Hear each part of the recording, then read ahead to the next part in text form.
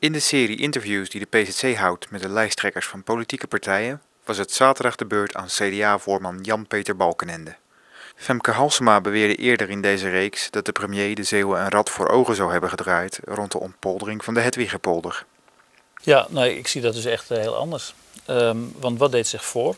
Ehm, er moet worden gewerkt aan natuurcompensatie. Dat is gewoon bekend. Uh, en er zijn verschillende oplossingen voor. En dan heb je een buitendijkse oplossing en je hebt uh, het idee van ontpoldering. Um, er waren voorstellen voor ontpoldering. Um, u weet ook hoe de Tweede Kamer erover dacht. En toen er een overleggende Kamer was, toen heb ik zelf ook uh, gezegd van ik wil dat het maximum wordt gedaan om toch te kijken of er een alternatief kan worden gevonden voor ontpoldering. Omdat ik weet hoe gevoelig dat hier ligt.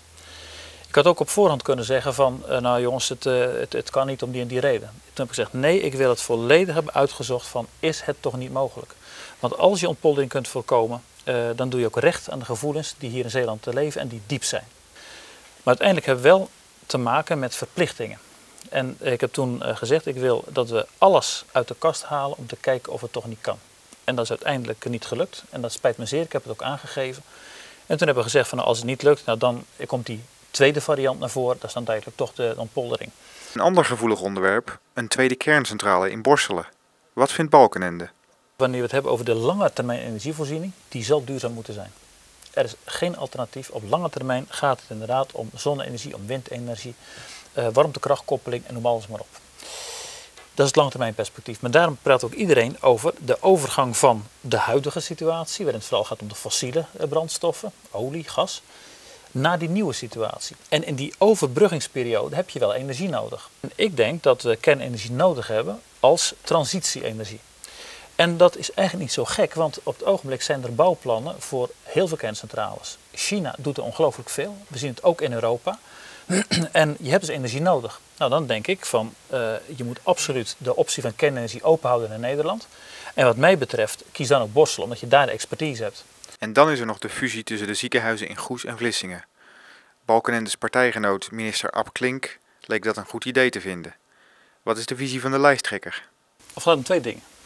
Het gaat om um, voorzieningen voor burgers die gewoon goed moeten zijn. Dat heeft te maken met nabijheid. En het tweede punt, je moet altijd goed oog hebben voor kwaliteit. Want als er twijfels ontstaan rondom kwaliteit, dan heb je sowieso een probleem.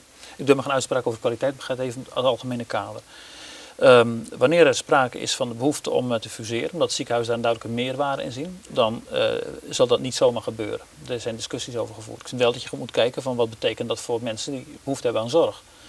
Uh, en we zien trouwens deze tendens ook in, andere plaatsen. Er wordt op een gegeven moment de dingen worden geconcentreerd. Je ziet ook bij de specialismen uh, dat er veel meer wordt gekeken van ja, waarin specialiseert een ziekenhuis zich. Uh, niet elk ziekenhuis hoeft dezelfde specialisme te hebben, dat kan ook helemaal niet.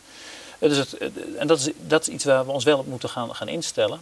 dat, en ik denk dat het verbeterd is voor cliënten, want ik kan me voorstellen dat je liever wat verder reist, maar dat je dan ook de beste zorg hebt, omdat daar de specialisten goed zijn toegerust, omdat apparatuur aanwezig is. Dus dat is denk ik de algemene lijn. Dus op zichzelf, de fusie kan ik me goed voorstellen als die, dat wordt gedragen en als dat tot meerwaarde leidt. Wilt u het hele gesprek nog eens terugzien? Kijk dan op pzc.nl/verkiezingen.